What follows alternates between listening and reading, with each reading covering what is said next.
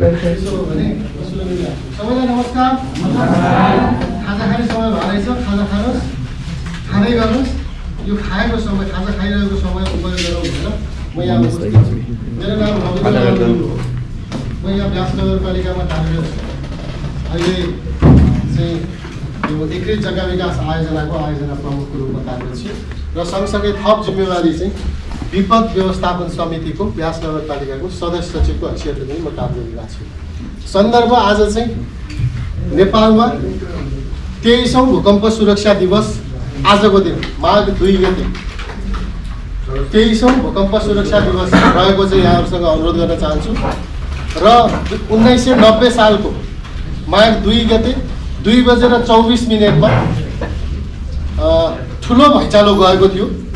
त्यो भैँचालोको त्यो भैँचालोले गर्दाखेरि दसौँ हजार नेपाल आमाका सन्ततिहरू चाहिँ ले चाहिँ मर्नु परेको थियो। त्यसैको सम्झनामा नेपाल सरकारले दुई हजार पचपन्न सालदेखि आजसम्म भूकम्प सुरक्षा दिवसको रूपमा चाहिँ मनाउँदै आएको छ। माघ प्रत्येक वर्षको माघ दुई गते दुई बजेर चौबिस मिनटमा भूकम्प सुरक्षा दिवस मनाउने अफिसियल कार्यक्रम नेपालभरि नै चल्ने गर्छ। र नब्बे सालको भुइँचालोको सम्झनाका लागि यहाँ यो हलमा अथवा यो वरिपरि यहाँहरूले सुन्नुहुनेछ। दुई बजेर चौबिस मिनटमा ठुलो साइरन बज्नेछ। त्यो साइरन बजेपछि हाम्रा एक्टिभिटीहरू हुनेछ र चौबिस मिनटपछि पच्चिसौँ मिनटमा चाहिँ हामी यहाँ दमकल अगाडिपट्टि सामेली भन्छ। यो ग्यादर हुने। ग्यादर हुने समय विपद पछिको भैँचालो पछिको ग्यादर हुने समय। चाहिँ दुई बजेर पच्चिस मिनटमा यो दमकल अगाडिपट्टि स्टेज बनाइएको छ। त्यहाँ जम्मा भएर हामी चाहिँ एउटा सचेतना सभा गर- गर्दैछौँ।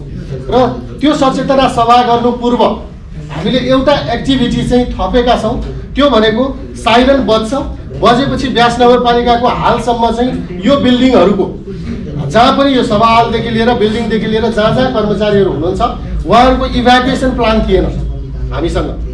कसरी इभ्याकुएट हुने के बिहेभ गर्ने र कहाँ सामेल हुने थिएन त्यो चाहिँ अहिले हामीसँग आएको छ र त्यसको इभ्याकुएसन प्लानको एक्टिभिटीलाई चाहिँ हामी एक्जिबिट गर्दैछौँ भनेको त्यसलाई अभ्यास पनि गर्दैछौँ।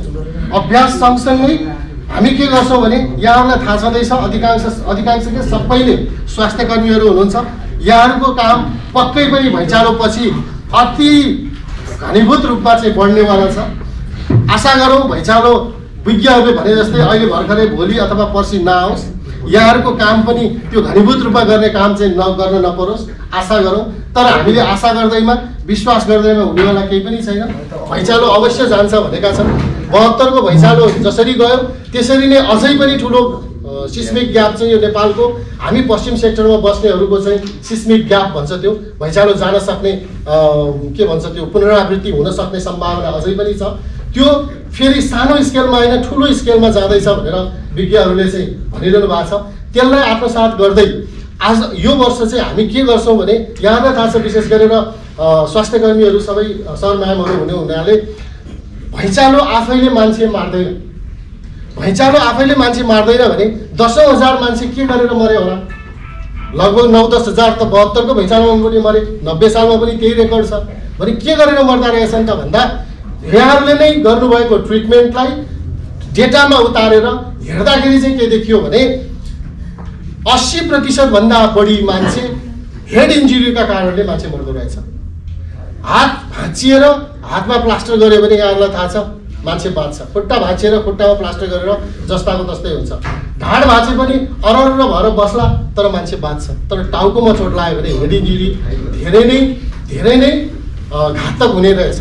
त्यस कारणले यो हेड इन्जुरीलाई बचाउन सकियो भने भैँचालो गएका बखतमा मान्छे बच्न सक्ने पर्सेन्टेजलाई चाहिँ हामीले उकास्न सक्ने रहेछौँ भन्ने हिसाबले एउटा विज्ञहरूले चाहिँ एउटा विधि बनाउनु भएको छ। त्यो भनेको ड्रप कभर एन्ड होल्ड भनेर भन्छ।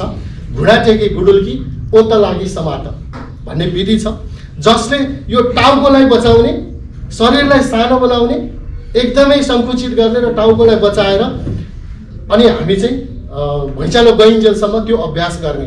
भनेको यहाँहरूलाई पनि थाहा छ आगोले पोल्दाखेरि हाम्रो हात हाम्रो दिमागले हाम्रो मुखले अथवा थाहा पाएर यो आगो हो पोल्छ तैँले हात नलैजा भन्न पर्दैन झिक भन्न पर्दैन। यदि हात आगोमा छ भने स्वतः स्फूर्त रूपमा आउँछ। यो हाम्रो सुसुप्त अवस्थामा रहेको यहाँ भित्रपट्टि दिमागमा कहीँ न कहीँ लुकेर बसेको छ। आगो हो पोल्छ त्यस कारणले हात निकाल्नुपर्छ भनेर हामीले कमान्ड दिनु पर्दैन त्यस्तै भैँचालो गएका अवस्थामा पनि हेड इन्जुरीबाट बचाउनलाई थप क्षति हुनबाट बचाउनको लागि चाहिँ एउटा अभ्यास हामीले दैनिक रूपमा गर्ने हो भनेदेखि अथवा थाहा पाएका बेलामा गर्ने हो भनेदेखि भैँचालो गएका बेलामा पनि हाम्रो ज्यान बचाउन सक्छौँ र हामी हाम्रो कर्मक्षेत्रमा फेरि घाइतेहरूको उद्धार गर्न उपचार गर्नको लागि हामी जान सक्छौँ। त्यो विधि चाहिँ हामी अभ्यास गर्नेछौँ। त्यो विधि अभ्यास गर्नको लागि चाहिँ कसरी हो? ड्रप कभर एन्ड होल्ड भनेर घुँडाटेकी गुडुल्की पोत लागि समाता विधि चाहिँ मनोजीलाई चाहिँ हाम्रो इन्जिनियर साहब हुनुहुन्छ। उहाँलाई गरेर देखाइदिनु हुन म अनुरोध गर्न चाहन्छु। सुरु। घुँडा टेक्ने जस्तो गुडिलको गरेर चाहिँ अनि टाउकोलाई माफ गर्नु होला मैले चाहिँ सकिनँ। मेरो भुँडीले अलि दिएन है। यो घुँडा टेक्ने गुडुल के गर्ने यो शरीरलाई सकेसम्म सानो बनाउने र टाउको संवेदनशील अङ्ग हो। यहाँ झोला छ साइडमा केही झोला हुनसक्छ। तपाईँको यदि कोठामा हुनुहुन्छ भने कोठामा चाहिँ सिरानी हुनसक्छ सिरप हुनसक्छ। जे छ सफ्ट कुराहरू अथवा केही छैन भने डायरी नै छ भने पनि डायरी नै पनि लिएर केही न केही छेक्छ भन्ने हिसाबले मैले सरी है एकछिन यसले चाहिँ टाउकोमा प्रोटेक्ट गर्ने र गुडुल्की गरेर बस्ने। यो कतिन्जेलसम्म बस्ने भन्ने कुरा आउँछ फेरि। कतिन्जेलसम्म भने भुइँचालो जाँदाखेरि हामीले बनाएको संरचना हल्लिन थाल्छ घर हल्लिन थाल्छ। हल्लिन्जेलसम्म त्यसरी बस्नु आत्तिन भयो?